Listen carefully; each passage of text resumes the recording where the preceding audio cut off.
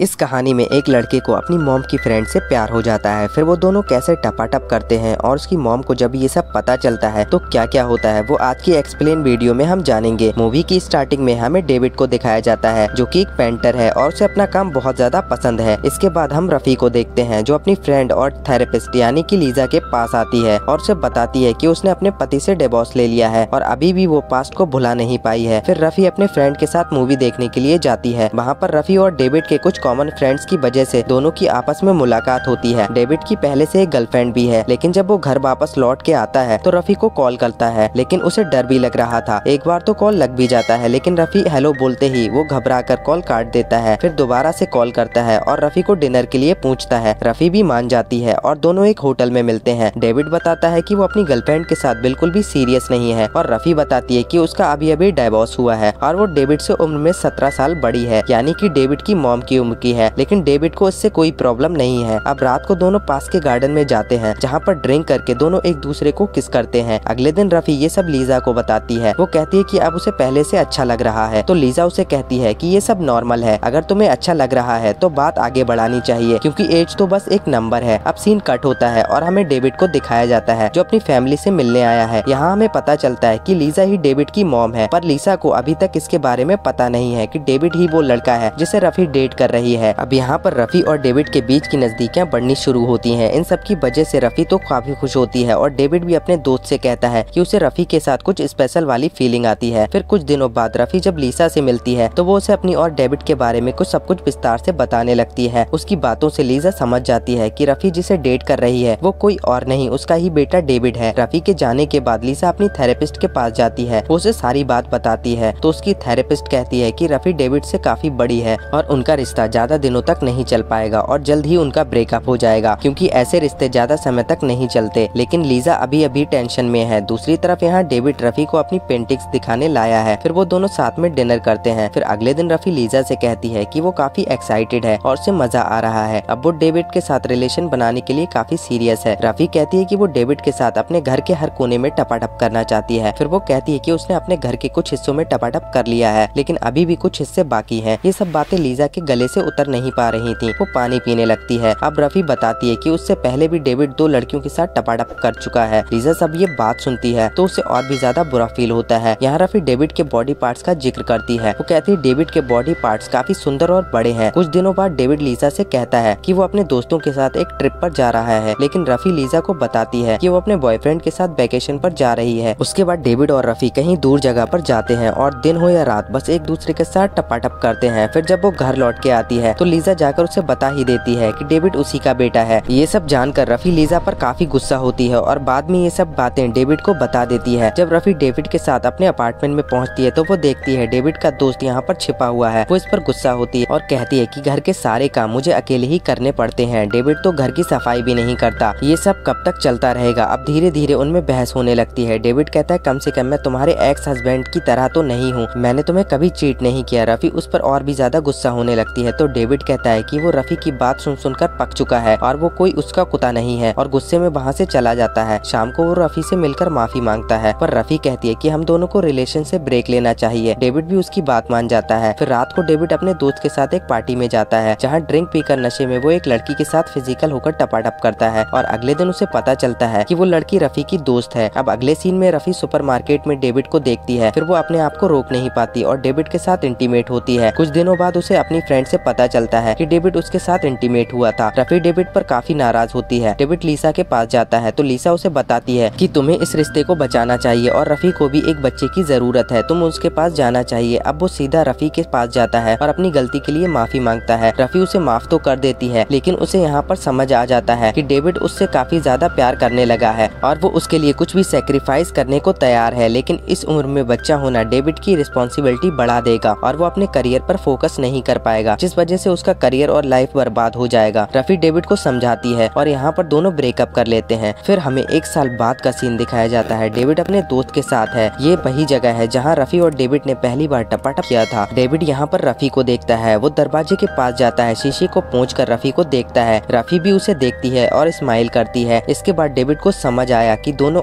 का अलग रहना ही बेहतर है। वो यहाँ से चला जाता है और इसी के साथ मूवी एंड हो जाती है। आई होप आपको एक्सप्लेनेशन अच्छा लगा होगा। अगर आपको वीडियो पसंद आया तो प्लीज़ इसे लाइक कर दीजिए और चैनल को सब्सक्राइब कर लीजिए। मैं मिलता हूँ आपसे अगले वीडियो में।